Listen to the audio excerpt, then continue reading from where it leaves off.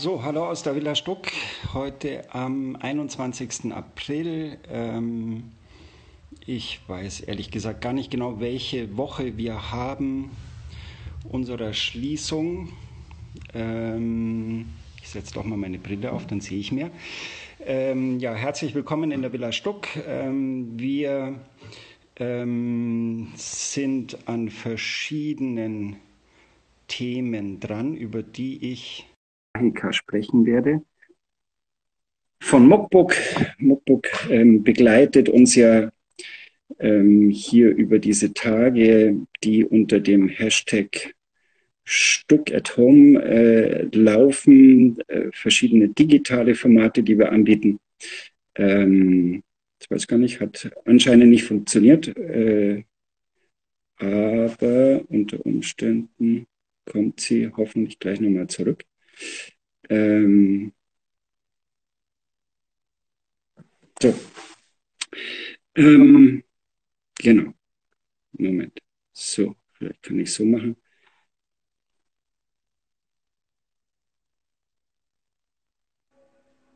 Jetzt baut sich was ab. Hat geklappt. Hallo Michael. Hallo, hallo Scheike. Hallo.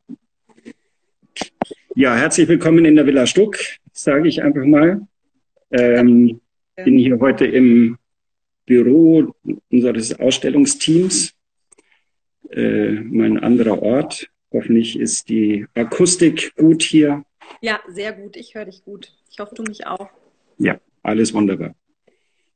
Genau, also ich habe schon so ein bisschen erzählt, wir sind an verschiedenen Themen dran. Ähm, natürlich treibt uns eine Sache äh, ganz besonders um, die auch schon als Frage gestellt wurde ähm, vorab wann eröffnet die Villa Stuck wieder?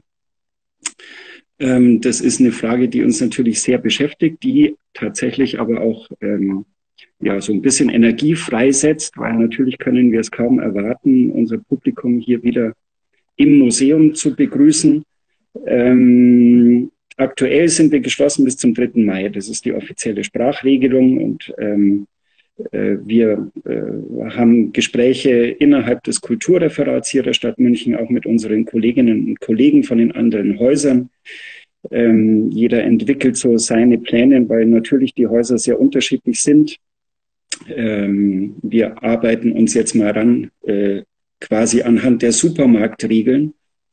20 Quadratmeter für eine Person und ähm, entwickeln so Szenarien, wie können sich unsere Besucherinnen und Besucher hier geschützt und sicher durchs Museum bewegen, wie ist auch unser Personal natürlich ähm, äh, unter den hygienischen Bedingungen hier vor Ort tätig. All das, ähm, das wird gerade so in verschiedenen Szenarien mal durchgespielt, um einfach für den Fall, dass irgendwann das grüne Licht äh, leuchtet und wir wieder öffnen dürfen, um bereit zu sein. Genau. Das ist das, was gerade, gerade hier so uns alle beschäftigt. Ja, die Bundesregierung hatte ja letzte Woche gemeinsam mit den Ministerpräsidenten auch besprochen, dass alle zwei Wochen äh, ja eben nochmal geschaut wird und ähm, Revue passieren, äh, man praktisch die letzten zwei Wochen Revue passieren lässt und dann daraufhin wieder neue ähm, Anweisungen gibt oder neuen Richtlinien folgt. Das wäre dann ja wieder nächste Woche sozusagen und dann Genau. Würde wahrscheinlich auch die äh, Öffnungen anderer Institutionen betreffen, die eventuellen Öffnungen ab dem 4. Mai sozusagen. Ja. Also genau so ist es. Am 30. April ist, glaube ich, diese nächste Sitzung anberaumt mit den Ministerpräsidenten der verschiedenen Bundesländer, wobei wir natürlich auch schon mitbekommen, innerhalb der Museen in einigen Bundesländern, ähm, da wird schon äh, ganz äh, konkret an den Öffnungen gearbeitet, also speziell in Brandenburg und in Thüringen. Ähm, da stehen tatsächlich innerhalb der nächsten Tage schon die ersten äh, Museumsöffnungen an. Mhm. Ähm, das ist für uns jetzt äh, erstmal insofern natürlich auch gut, weil wir so ein bisschen Erfahrungswerte auch sammeln können. Äh, welche Anweisungen gibt es für diese Häuser?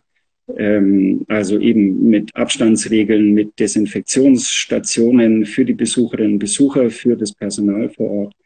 Ähm, also da können wir sicherlich jetzt auch für unsere Szenarien dann sozusagen ähm, lernen, wie gehen die anderen Häuser damit um. Von daher finde ich es jetzt auch gar nicht verkehrt, dass das sozusagen äh, in den einzelnen Bundesländern unterschiedlich, ähm, in unterschiedlicher Geschwindigkeit gehandhabt wird. Und gleichzeitig ist es natürlich eine Sache, wo man sich auch Zeit lassen muss. Also die Sicherheit geht einfach vor für alle. Und ähm, ja, also wie gesagt, da sind wir jetzt gerade dran. Unsere Kassen werden aufgerüstet ähm, mit Plexi-Scheiben und so weiter. Also so, dass einfach ähm, die Sicherheit für alle Beteiligten hier gewährleistet ist.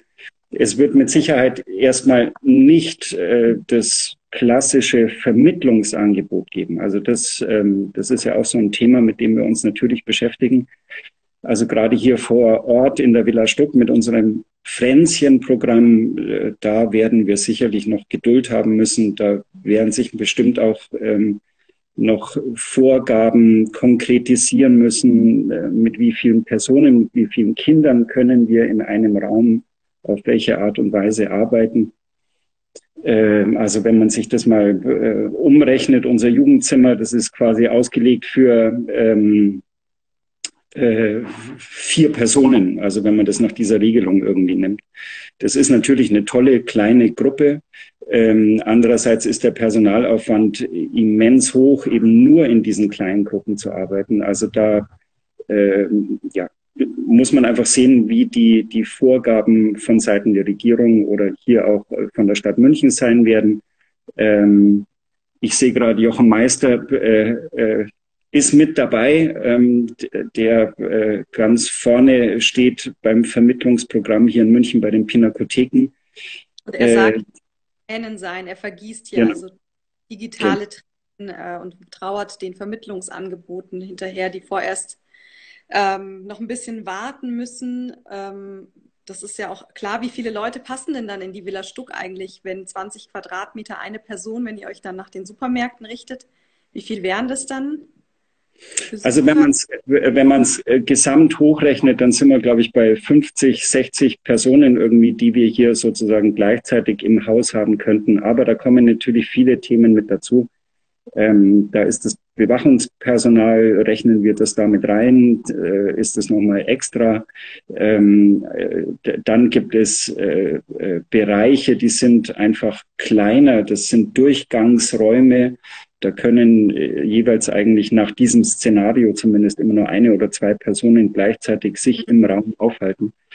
Und ähm, also dadurch bedingen sich so, ergeben sich so Abhängigkeiten, ähm, ja. die wir mit einrechnen müssen und die auch mit Sicherheit eine große Herausforderung für unser Aufsichtspersonal sein müssen, weil die im Grunde genommen so ein bisschen äh, dirigieren müssen, wie bewegen sich die Besucherinnen und Besucher, wie werden die Abstandsregelungen eingehalten. Ähm, also all diese Themen, die können in einigen Bereichen relativ einfach umgesetzt werden, in anderen Bereichen ist es dann doch eher äh, ja, ein komplexeres Thema. Aber da, wie gesagt, da sitzen wir dran, da sprechen wir auch mit allen Beteiligten. Es geht dann auch um das Thema Reinigung. Also alle diese, diese Dinge müssen wir damit mit berücksichtigen. Genau, also du hast es schon angesprochen, es braucht eben Konzepte. Man kann auch jetzt natürlich nicht von einem Tag auf den anderen, wenn es denn erlaubt sein sollte, öffnen und deswegen ja auch diese Zwei-Wochen-Regelung, dass man eben auch den Geschäften, den Institutionen, den Häusern die Möglichkeit gibt, eben entsprechende Konzepte auch zu erarbeiten.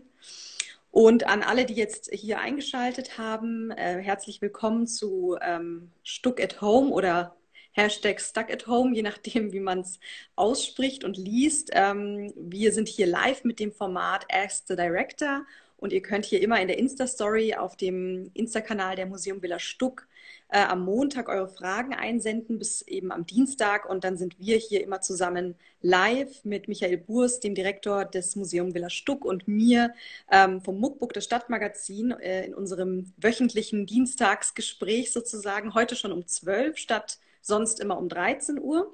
Und ähm, ich habe eine Frage auch an dich, Michael. Das, können, das Thema können wir jetzt nicht unter den Tisch kehren. Oktoberfest Wiesen 2020. ähm, wie stehst du dazu? Die Nachricht kam um 9 Uhr ähm, rein in der Pressekonferenz mit Markus Söder und Dieter Reiter, dem Oberbürgermeister von München. Ähm, Wie siehst du das als äh, Münchner? Bist du ein Oktoberfestgänger oder denkst du dir so hm, eher Fluch als Segen?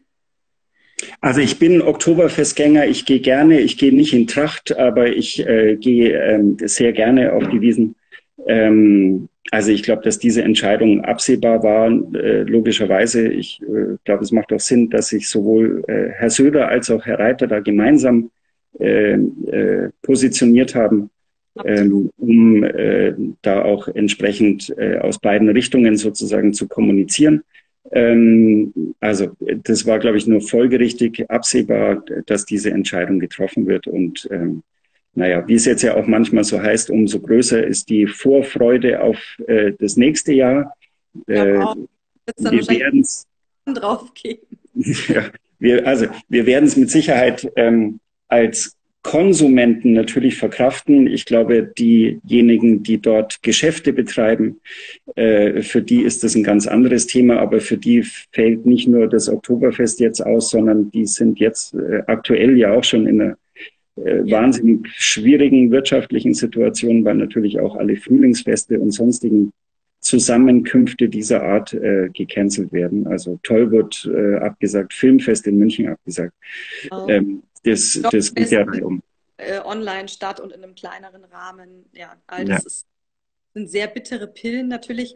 Ähm, hast du den Eindruck, dass es irgendwas mit den Besucherzahlen gemacht hat im September, Oktober zu der Zeit in der Villa Stuck? Äh, dass die anderen, dass, dass alle auf der Wiesen sind und dann nicht ins Museum gehen. Oder ähm, vermehrten Touristen in der Stadt dann doch eben äh, mal so ein Wiesenfreier Tag eingelegt wird und mehr Touristen ähm, unterwegs sind, auch in den Museen? Also das ist natürlich die ideale Vorstellung für jede Museumsdirektorin, für jeden Museumsdirektor hier in München, dass man sagt, die Touristen kommen nach München und äh, gehen dann eben aber nicht aufs Oktoberfest, sondern ins Museum. Ich glaube aber, es ist tatsächlich eine sehr äh, fantasievolle Vorstellung. Ähm, wer hier anreist und wer für die Wiesen anreist, der geht äh, auf die Wiesen und ich äh, ansonsten kuriert es sich wahrscheinlich irgendwie aus, ähm, würde ich jetzt mal ganz flapsig behaupten. Ähm, also das, das gehört zum Münchner Kalender natürlich seit Jahrhunderten sozusagen mit dazu. Ähm, ich glaube, für uns hat es keine größeren Auswirkungen in die eine oder in die andere Richtung. Ähm, man kann die Wiesen auch nicht digital abhalten. Also das äh, ist vielleicht nochmal ein Anknüpfungspunkt auch an den Kommentar von von Jochen Meister und natürlich auch vielleicht anknüpfend an das Gespräch, was wir letzten Freitag hatten mit dem Reinhard Spieler vom Sprengelmuseum, ja. der ja auch Vertreter des Museumsbunds ist. Ähm, es gibt einfach äh, äh, ein, ein Limit, es gibt eine, eine Beschränkung äh, im digitalen Raum. Man kann nicht alle Formate übertragen. Man kann auch das Erlebnis vor Ort in einem Museum, also auch hier in der Villa Stuck, in den historischen Räumen, nicht ersetzen. Da kann man so viele 360-Grad-Kameras aufstellen, wie man will. Ähm, es wird nicht funktionieren. Man braucht den Eindruck vor Ort, man braucht äh, die, die, die Materialität, äh, die Haptik sozusagen der Objekte. Und ähm, also vor dem Hintergrund äh, äh, können wir es eben, wie gesagt, nicht erwarten, ähm, hoffen, dass wir schnellstmöglich unsere Türen wieder öffnen können ähm, und äh, stellen uns einfach darauf ein. Und klar, die, die Wiesen wäre im September gewesen. Also das heißt, wer weiß, wie sich dieses Thema noch entwickelt. Das, die, die Öffnung der Häuser ist sicherlich das eine Thema. Das andere Thema ist, dass Veranstaltungen nicht mehr stattfinden können auf absehbare Zeit, also dass es Eröffnungen nicht mehr geben wird. Wir haben ja hier so unsere eigene Wiesen, nämlich unser Sommerfest äh, im Garten der Villa Stuck. Also auch das werden wir in diesem Jahr sicherlich nicht stattfinden lassen können. Und aber auf der anderen Seite freuen wir uns eben dann drauf, wenn wir 2021 hoffentlich wieder mit möglichst vielen hier feiern können. Ähm, 20 wird unter dem äh, Motto Halligalli Drecksau stattfinden, weil alle total äh, äh, sich dem Treffen und dem Social, äh, der Social Annäherung praktisch wieder hingeben und sich ähm, wahrscheinlich auch einfach exzessiv aufs äh, Beisammensein freuen werden. Aber du hast es ja auch gesagt, ich finde auch, man kann das Erlebnis an sich auch einfach digital nicht wirklich ersetzen. Ich glaube, da macht man sich dann vermutlich auch eher was vor. Äh, man kann äh, versuchen, gewisse Inhalte neu anzubieten, neu darzustellen, auch in die Zukunft gedacht, weil ähm, das alles, was wir hier gerade lernen, äh, gemeinsam auch auf die Beine stellen, das wird uns hoffentlich ja auch dann bleiben und generell auch neue Formate ähm, auch für eine Zeit eben nach der Corona-Pandemie erhalten bleiben. Aber es wird trotzdem, es kann nicht, äh, es, es, kann kein Ersatzprodukt sein, es kann nur ergänzend sein. Das sehe ja. ich auch. Ja. Also man sieht ja, ähm, natürlich äh, bis mindestens 3. Mai äh, werden wir diese digitalen Formate auch anbieten. Und ähm, es gibt natürlich große äh, auch Vorteile in diesen digitalen Formaten. Also wir können mit Thierry Chauffroy in Kopenhagen kommunizieren über Instagram oder über andere Kanäle. Ähm, ich kann verraten, dass wir seit gestern Abend auch tatsächlich nochmal an einem weiteren Critical Run arbeiten, der demnächst hoffentlich noch stattfinden kann. Wir werden in dieser Woche eine Gebärdensprachführung äh, äh, ja. live äh, zeigen aus der Lisa Walker Ausstellung. Ähm, also das sind alles äh, Dinge, die natürlich dann auch tatsächlich ähm, unser Publikum sozusagen erweitern im digitalen Raum, unter Umständen eben auch viel mehr Menschen die Möglichkeit geben zu partizipieren an diesen Angeboten. Ja. Ähm, und von daher ist all das äh, ein, ein toller Lerneffekt, den wir jetzt gerade durchmachen ähm, und äh, den wir dann eben hoffentlich auch, wie du sagst, in der Zukunft nutzen äh, können. Ähm, in dem Maße, in dem uns dann eben auch die, die, die Mittel zur Verfügung stellen. Also es ist sicherlich ein Thema, ähm, dass wir das Programm, das wir hier gerade äh, über die sozialen Kanäle ablaufen lassen, äh, das äh, ist budgetintensiv, das ist ressourcenintensiv und ähm, wir haben äh, natürlich einen quasi Arbeitsauftrag, der da lautet, den digitalen Wandel mitzugestalten. Und ich glaube, da sind wir jetzt gerade ganz heftig irgendwie auch mittendrin und mit dabei. Ins kalte ähm, Wasser geschmissen ein bisschen. Mein, ich glaube, was du auch ansprichst, sind äh, wahrscheinlich auch die Gelder, die dafür zur Verfügung gestellt werden, auch in Zukunft ähm, durch die Stadt oder äh, größer gedacht auch durch den Bund an die Länder, ähm, damit man überhaupt diesen, diesen Sprung auch schafft.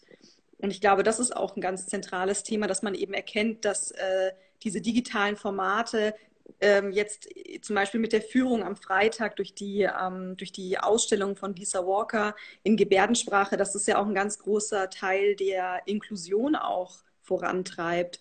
Ähm, dass man sich überlegt, okay, wie erreicht man eben auch solche Zielgruppen? Wie bringt man die zu uns ins Haus? Was bietet man denen an, worüber man vorher vielleicht nur äh, nachgedacht hat mit, ja, wie machen wir Barrierefreiheit im Sinne von, kommt jetzt auch der Rollstuhlfahrer die Treppen hoch oder nicht? Oder gibt es genügend Aufzüge? Aber dass man da, dass das Verständnis eben nicht so weit ging, dass man sagt, okay, was gibt es überhaupt für Zielgruppen, welche Behinderungen gibt es in dem Fall gesprochen, ähm, wie können wir auch diese Menschen mit einbinden? Ja. Ähm, hier, schöner Kommentar. Wir spüren momentan besonders die soziale Funktion des Museums. Mhm. Ähm, das ist, glaube ich, tatsächlich so. Also ähm, es geht äh, bei diesen äh, digitalen Angeboten, glaube ich, sehr viel um Kommunikation. Ähm, und äh, von daher ist es, glaube ich, ein, äh, tolles zusätzliches Instrument. Natürlich geht es vor allem erstmal um die Kommunikation vor Ort im Museum. Ähm, wir haben da ja Aufgaben als, als Vermittler sozusagen, äh, auch die, die, die Räume, die Objekte quasi zum Sprechen zu bringen. Ähm, aktuell äh, sehen wir, glaube ich, alle, dass die Institutionen selbst für sich auch irgendwie sprechen, Stellung beziehen, kommunizieren, äh, auch Inhalte veröffentlichen, die unter Umständen vorher eher immer so hinter verschlossenen Türen waren. Und ich glaube, das ist ein äh, wahnsinnig äh, äh guter Prozess in dieser unbenommen und unbestritten auch schwierigen Situation. Und ähm, äh, wenn wir über Budget sprechen, dann wird es aber natürlich auch eine große Herausforderung sein, weil ähm, erstmal steht jetzt, glaube ich, als erste Ausg Aufgabe an, auch die Einnahmeverluste, die entstehen aller Orten, äh, die, die, die äh, Hilfen, die Soforthilfen, die finanziert werden müssen. All das äh, wird unter Umständen natürlich auch den oder wird den städtischen Haushalt treffen und natürlich sind auch dann wir sozusagen irgendwie mit dem Boot. Das heißt, äh, ich glaube, es ist äh, jetzt auch vermessen, über äh, zusätzliche Ressourcen zu sprechen. Jetzt muss man, glaube ich, dann erstmal, wenn der Zeitpunkt gekommen ist, Resümee ziehen und eine Art Bilanz ziehen, ähm, was das jetzt alles eigentlich kostet. Und dann, glaube ich, kann man in die Zukunft blicken. Also ich will da jetzt auch gar nicht zu negativ sein, aber es ist sicherlich eine, eine Sache, die man mit berücksichtigen muss. Ja, absolut. Jetzt haben wir schon ein bisschen das Wochenprogramm mit der ähm, Führung am Freitag angesprochen. Ähm, wir können das ja mal so chronologisch durchgehen in der Insta-Story. Villa Stuck äh, ist es eigentlich auch ganz schön immer aufgezeigt, ähm, was in der Woche so passiert ab Montag. Da könnt ihr auch immer reinschauen. Und bis morgen, ich glaube, das ist so das Wichtigste, ähm, könnt ihr noch Bilder einschicken oder unter dem Hashtag die demokratische Schnecke äh, taggen für äh, die Verlosung, oder Michael? Das geht noch bis morgen, bis zum 22. Genau, die demokratische Schnecke, die Ausstellung des das sogenannte Online-Szenario läuft noch bis ähm, zum 22. April, also bis morgen. Ähm, es gab schon sehr schöne Einsendungen, Bilder von den Plakaten in der Stadt, die ähm, äh, Besucherinnen, Spaziergängerinnen und Spaziergänger, nenne ich sie jetzt einfach mal, ähm, entdeckt haben bei ihren Rundgängen, bei ihren Stadtrundgängen. Äh, es gibt äh, äh, Gedichte an die Schnecke, also all das ähm, äh, ist eingegangen unter die demokratische Schnecke at gmail.com. Und ähm, wir freuen uns drauf, wenn bis morgen noch viele Einsendungen kommen. Ähm, und die, ähm, die Website wird dann äh, mal sehen, was damit passiert, will ich jetzt eigentlich noch gar nicht verraten. Jetzt hätte ich mich fast verplappert. ähm, aber es sollen natürlich alle morgen nochmal drauf gucken. Ähm, und dann werden wir sehen, äh, ob und wie sich die Schnecke verabschiedet. Ähm, dann ist auch dieses Experiment sozusagen vorbei. Aber auch da kann ich eigentlich ähm, glaube ich, im Namen aller Beteiligten ankündigen, dass wir uns auf jeden Fall hier auch nochmal vor Ort ähm, mit der Heike Geisler, mit der Annalena von Heldorf treffen möchten, um auch ähm, unter Umständen dieses Thema eben nochmal aufzugreifen, aber dann eben auch ähm, gemeinsam, nicht über Zoom, nicht über irgendwelche anderen Plattformen, sondern tatsächlich von Angesicht ja. zu Angesicht je nachdem, wie das dann möglich ist. Aber ähm, das soll auf jeden Fall noch stattfinden. Aber also, wie du gesagt hattest, der Aufruf ist da. Bis morgen ähm, bitte gerne noch Einsendungen machen. Und ähm, wir werden dann im Nachgang die Plakate an die Teilnehmerinnen und Teilnehmer verschicken. Ja, und am Donnerstag ist dann wieder der Throwback Thursday. Ähm, und da gibt es, äh, habe ich jetzt gehört, Schätze aus eurem Online-Archiv. Was was heißt das? Oder ist das auch ein Geheimnis? Nee, das ist gar kein Geheimnis. Also wir haben ja jetzt jede Woche so ein bisschen zurückgeblickt auf verschiedene Aktivitäten hier, die sich dann eben auch entsprechend äh, zeigen lassen. Und äh, in dieser Woche geht es um die Kontaktlinse. Das ist ein Vermittlungsformat, das wir seit einigen Jahren hier schon machen. Das sind äh, auf der einen Seite äh, jugendliche Geflüchtete, die hier in München gelandet sind ähm, und äh, auf der anderen Seite Schülerinnen und Schüler von Münchner Schulen, die gemeinsam hier Videos erstellen, die also Video-Workshops unter der Anleitung von Künstlerinnen und Künstlern durchführen in der Villa Stuck. Und wir werden, äh, ich weiß jetzt gar nicht, ob eins oder mehrere Videos zeigen, die in diesen Workshops entstanden sind. Die sind äh, richtig toll. Ähm, das ist auch tatsächlich ein Kurs, der über mehrere Tage äh, beziehungsweise manchmal sogar Wochen läuft, ähm, wo alle das entsprechende Handwerkszeug auch mitbekommen. Wie drehe ich einen Film? Wie schneide ich das Material? Wie vertone ich das alles? Und wie mache ich daraus eben einen, tatsächlich einen professionellen Film? Und wir werden morgen so ein paar Beispiele aus dieser Kontaktlinse zeigen. Schön, das ist sehr spannend. Ähm, das kann man wo sehen? Am Donnerstag? Äh, ich glaube, das läuft in der Hauptsache über Facebook. Ich glaube, das läuft über den Facebook-Kanal, aber äh, genau. Äh, aber auf Twitter wird das wahrscheinlich auch angekündigt.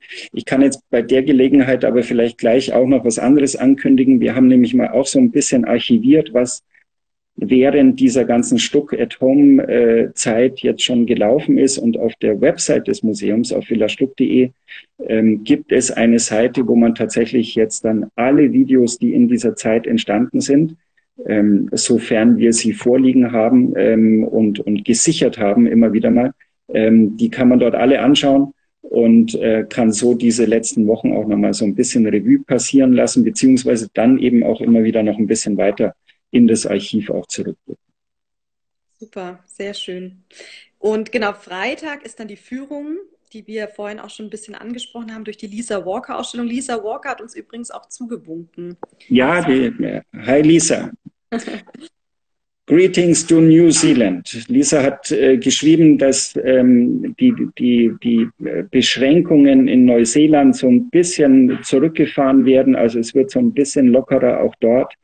Ähm, aber natürlich trotzdem, äh, die, die Beschränkungen bestehen weiterhin. Ähm, wir hoffen nach wie vor äh, sehr stark, dass wir ähm, die Ausstellung von Lisa hier äh, möglichst bald wieder öffnen können, sodass auch die Besucherinnen und Besucher die wunderbaren Objekte sehen können. Seit gestern äh, ist auf dem Blog der Villa Stuck ähm, die äh, Eröffnungsrede von Otto Künzli nachzulesen. Ähm, da hatten wir beide ja auch schon mal drüber gesprochen lesen. Genau, das war vor zwei Wochen, glaube ich. Und dann hast du auch genau. gesagt, dass du das verschriftlichen möchtest. Und ähm, jetzt ist es online, genau. Genau. Otto Künzli hat auch den Schluss der Rede, wer ihn mitbekommen hat, hier live vor Ort, äh, der war sehr außergewöhnlich. Er hat den Schluss der Rede tatsächlich auch nochmal überarbeitet und ergänzt. Also von daher, das macht großen Spaß, das nachzulesen. Und weil unser Förderverein, der Villa Stuck Verein, gerade Grüße an Lisa Walker schickt, grüßen wir von hier aus natürlich auch den Villa Stuck Verein. Ähm, auch da kann ich eigentlich nur sagen, dass die Kolleginnen und Kollegen aus dem Vorstand, wie aber, glaube ich, auch alle Mitglieder, ähm, ganz nah dran sind an dem, was hier im Museum passiert, ähm, uns begleiten, uns unterstützen und äh, mit Sicherheit auch in der Zukunft ähm, uns, egal ob digital oder dann wieder vor Ort im Museum unterstützen werden. Von daher an der Stelle ein großes Dankeschön für das Engagement. Ich glaube, da kommen auch ein paar Dinge noch, auf die wir uns freuen können äh, von Seiten des Villa Stuck Vereins. Also ein äh, herzliches Dankeschön an euch alle. Ähm, unter anderem wird da aber im Übrigen auch äh, um nochmal aufs Oktoberfest zurückzukommen, eine Sache organisiert äh, von unserem Vorsitzenden des Villa Stuck-Vereins tatsächlich, nämlich die sogenannte Kulturwiesen, die natürlich auch in diesem Jahr dann leider ausfallen muss. Aber der Peter hat heute schon gepostet, er freut sich auf 2021 und das tun wir alle mit ihm natürlich gemeinsam. Das tun wir auf jeden Fall. Abschließend, äh, der Samstag darf jetzt natürlich auch nicht äh, unerwähnt bleiben mit äh, Fränzchen at Home. Da habe ich äh, gesehen, es wird eine, hm, ich sage jetzt mal, Bastelidee oder eine Inspiration auf Basis eines Verfahrens geben, was relativ selten wohl ähm, äh, gemacht oder umgesetzt wird, und zwar Monotypie. Ich habe mir so ein bisschen was dazu durchgelesen ähm, und ich fand das Ankündigungsbild in eurer Story auf jeden Fall sehr äh, süß, irgendwie mit diesem Geist. Ähm, was hat es da auf sich? Das ist ein Workshop, ähm, äh, den wir tatsächlich so jetzt quasi online anbieten können, ähm, äh, zu einem, eben wie du sagst, zu einem bestimmten Druckverfahren. Ähm, ich habe offen gestanden den Film selber noch gar nicht gesehen. Ich äh, mhm. kann äh, gar nicht so viel dazu sagen. Ich äh, weiß nur aus den vergangenen Wochen, dass diese Filme wahnsinnig gut ankommen, sowohl diese ganzen Osterbasteleien als auch letzte Woche der der Online-Kurs, ähm, um sich selber auf Farben anzumischen von Carol Montagna. Also auch der, glaube ich, kam richtig gut an, das Video von ihr. Von daher kann ich im Grunde genommen auch hier nur Danke sagen an alle, die da Inhalte für uns jetzt gerade generieren. Das ist toll, dass ihr äh, mitmacht, uns unterstützt und dann eben aber auch für unser Publikum Anregungen liefert. Ähm, also ich freue mich sehr auf Samstag, werde mir das Video dann anschauen, vielleicht auch ein bisschen zu Hause basteln. Ähm, und ähm, äh, ich glaube, da kann man sehr gespannt sein, was noch alles kommt, immer samstags unter Fränzchen Home.